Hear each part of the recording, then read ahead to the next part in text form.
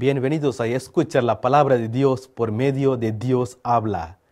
El Señor está cerca, pero hay que saber dónde buscarlo para poder encontrarlo.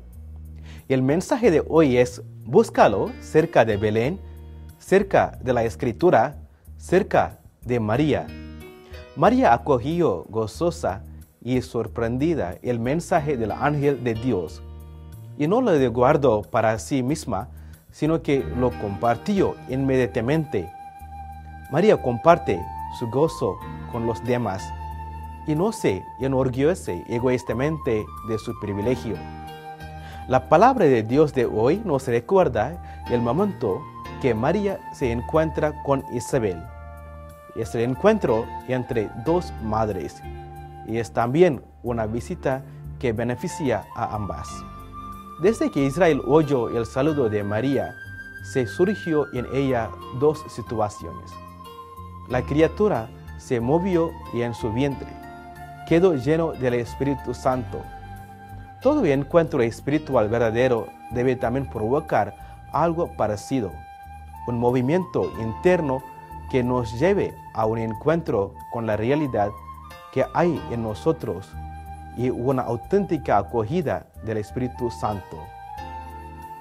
La actitud de María acogiendo la palabra de Dios queda traducida en acto de servicio, de caridad, al ser portadora de la gran noticia de su prima Isabel y compartiendo la acción de gracias al Señor. La visita de María empieza por la fe, sigue por la caridad y termina en alabanza. María, como personaje de Adviento, es un modelo para nosotros por su sencillez, por su profunda fe y su caridad.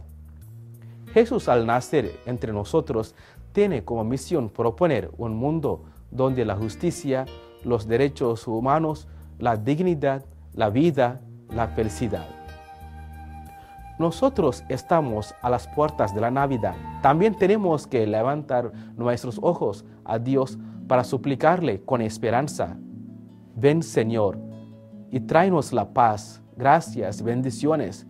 También a los que están en tinieblas, a los que sufren, abandonados, rechazados y enfermos, y a todos nuestros hermanos y hermanas. Amén. En esta temporada navideña queremos desearles una gran feliz Navidad y un próspero año nuevo de parte de WordNet y Dios te habla hoy. Muchas felicidades.